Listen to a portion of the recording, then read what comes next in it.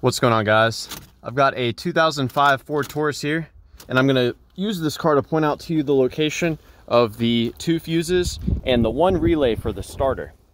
So we're gonna start under the dash here.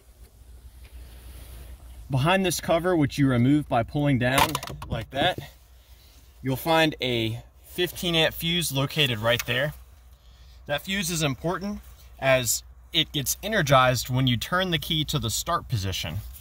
So when you turn the key to the start position, the ignition switch will send power to that fuse, which then goes on to um, the transmission range switch. You can remove this fuse with the needle nose plier. You can just pop it out like so. Check to see if it's intact.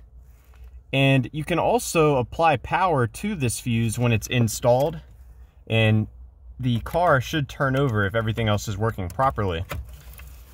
Let's head under the hood and I'll show you the other fuse as well as the starter relay. And I'll also go over some more details about how, how everything is wired. So we're gonna remove this cover by pulling up on these two tabs, one on either side. Now this is gonna be your starter relay. Sometimes you can tap on the relay while someone is trying to start the car. Unfortunately, there are no other similar relays you can swap this with. So let's go and pull this out. And there is a fuse, 40 amp fuse right here.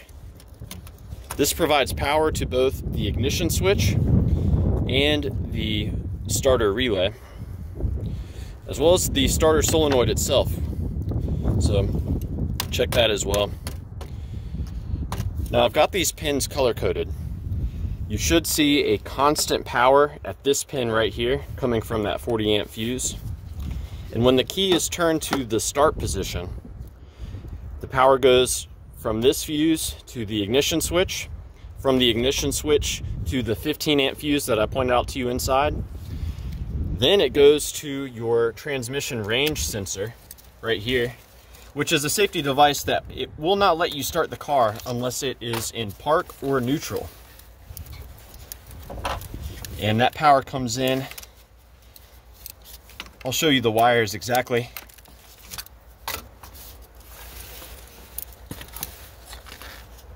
That power comes in on the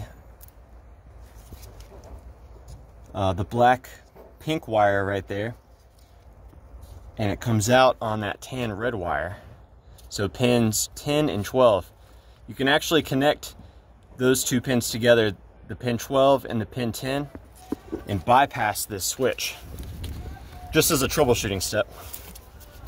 So it goes through that, and the power ultimately will come in on this pin. So that's how the starter relay is triggered. Power coming in from the ignition switch through here, and there's a ground coming in from the powertrain control module there.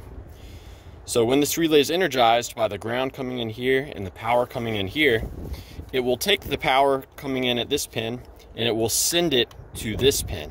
This is the pin that actually goes directly to the starter. So you can actually apply power there yourself. Be sure to have the car in park. The power coming in on this pin actually travels on this white red wire down to the starter. So that power will go into the starter and activate the solenoid there. So yeah, giving you guys a few troubleshooting steps. I hope this info was helpful for you. Please let me know if you have any questions or more importantly, if you have any advice about troubleshooting the starter on your Ford Taurus. Thanks for watching.